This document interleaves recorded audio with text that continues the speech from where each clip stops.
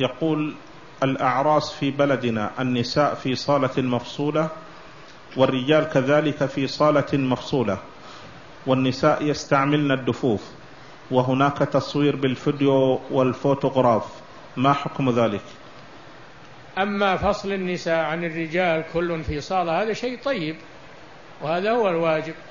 وضرب الدف للنساء هذا أيضا مستحب ومأمور به شرعا. وأما التصوير فهو حرام. حرام ومنكر.